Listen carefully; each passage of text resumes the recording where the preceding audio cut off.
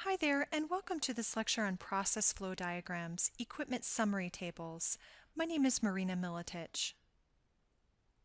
Once you've selected the type and drive of compressor, turbine, or pump, you should next specify the materials of construction for that piece of equipment. Materials of construction is often abbreviated MOC and is the specific metal or material which the piece of equipment is made of. Selecting the right materials of construction is important because the process fluid will be in contact with this surface and so it must be able to withstand the temperatures and the chemical exposure to the stream. Just as with type and drive, ChemCAD or Aspen will not select the appropriate material for your piece of equipment. You must select this by weighing two important factors, the cost of the material versus the durability required to withstand the temperatures and chemical components. We know why cost is important, but let's take a minute to talk about what durability really means. The durability of process equipment is usually determined by how resistant the material is to high temperature, reactivity, and corrosion. You'll notice that pressure is usually not as important in selecting materials of construction because most materials can be manufactured with the appropriate wall thickness to withstand most pressure requirements. It's very high and very low temperatures that pose more of a challenge to materials, not only because they can compromise the integrity of the material, but also because high temperatures almost always increase the rate of reaction between components in the process stream. Additionally, high temperature also increases the likelihood of a reaction between the process stream and the surface material. If the process stream is already potentially reactive, corrosive, oxidative, strongly acidic, or basic, this makes choosing a more durable material all that more important. As you might expect, if you need a material which can withstand high temperatures and reactive chemicals, it will most likely cost more. As we briefly discuss some of the most common choices for materials for large chemical processes, you'll notice this trend. There are about seven different materials commonly used for process units. It's important to know that all of these materials are classifications, and their composition can vary based on the specific variety that's chosen. Of all groups of materials used in chemical process units, the most ubiquitous is carbon steel, abbreviated CS. Carbon steel, like all steels, is mostly iron, and it features up to 2.1% carbon, which is added for hardness. Carbon steel is probably the most widely used material in chemical processes because it's cheap and it can withstand fairly high and low temperatures, so long as the process fluid is not corrosive or reactive. Low alloy steels are a little stronger than carbon steel because they usually incorporate chromium, molybdenum, and nickel, among other metals and nonmetals, at levels of less than 5%, which means these materials can be exposed to mildly acidic and mildly oxidizing chemicals. Stainless steel, abbreviated SS, is a very common material used for process equipment, especially when minimizing contamination is a necessity. Stainless steel is mostly iron with fairly high levels of chromium and nickel, along with manganese, molybdenum, and other metals and nonmetals. The two most common types of stainless steel used in process equipment are 304, which is also called 188 stainless, and 316 stainless, both of which feature around 20% chromium and 10% nickel. These materials are used widely because they resist corrosion and reactivity with many acids and bases, so long as the concentration is not very high. Stainless steel is also used for very low and high temperature applications, up to around 1100 degrees centigrade. Aluminum, abbreviated AL and aluminum alloys, are mostly made of aluminum and are great choices when a light, corrosive resistant material is required.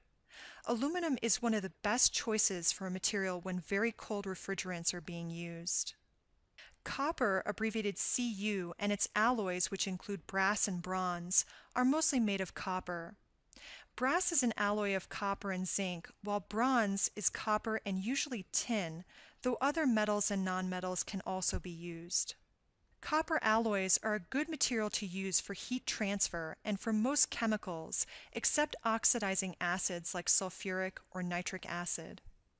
Nickel, abbreviated Ni, and its alloys including Monel, Inconel, Incoloy, and Hastelloy are the best class of metals to use for high temperature applications and very reactive chemicals. Let's look more closely at each of these specialty alloys.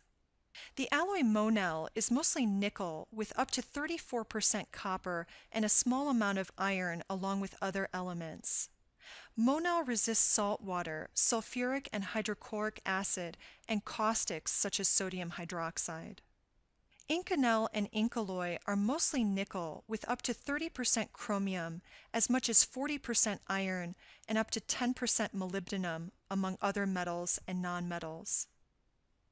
The difference between Inconel and Incoloy is that Inconel is up to 72% nickel, up to 25% chromium, and up to around 20% iron.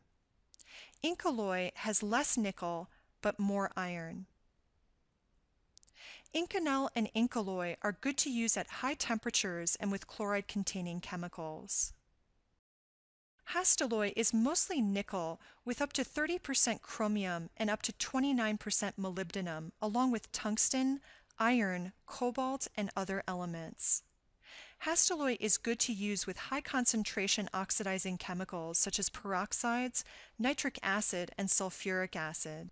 Lastly, one of the most expensive materials you can select is titanium, abbreviated Ti.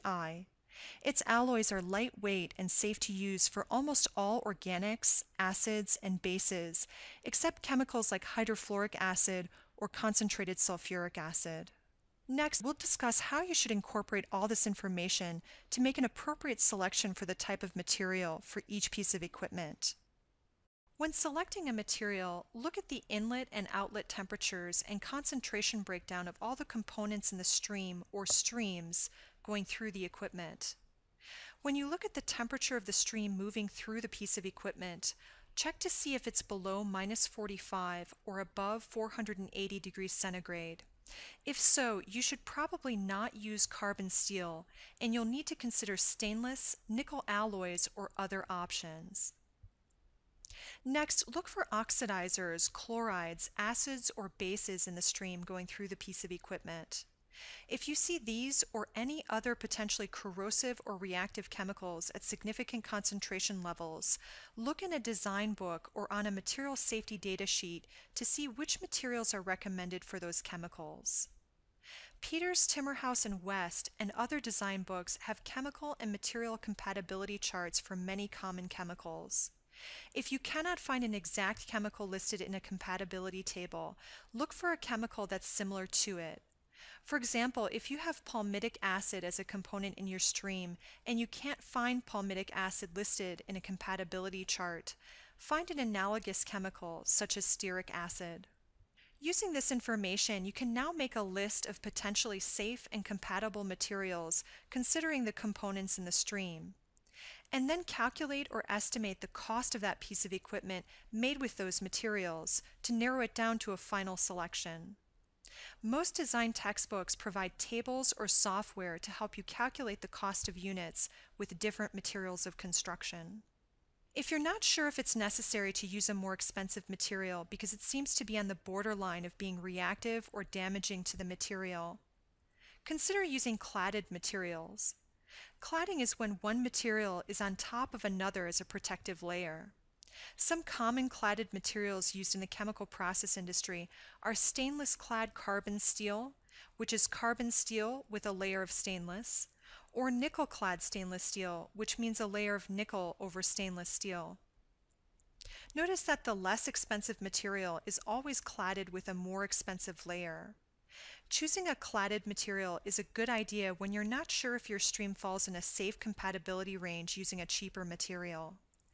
Using cladded materials can also save a lot of money on initial costs compared to using a non-cladded, more expensive unit. Although not all pieces of equipment can be made with clad material, it's a good option to keep in mind for reactors, shell-side heat exchangers, towers, and vessels. For our ethylene oxide process, oxygen is a common oxidizer, so I chose 316 stainless steel for this compressor, but I felt that carbon steel was more appropriate for the ethylene stream going through C102 since it's not as reactive with metals. I chose carbon steel for this turbine, which has CO2 and oxygen flowing through it, since this stream is fairly inert and shouldn't cause significant oxidation. And I chose 316 stainless steel for this pump, since it has a very high concentration of ethylene oxide going through it. However, as a mild oxide, it's not as reactive or damaging as a strong acid or base, so I don't feel that using a nickel alloy would be necessary. Notice I chose these materials only after doing quite a bit of research on the chemical properties and reactivity of these chemicals.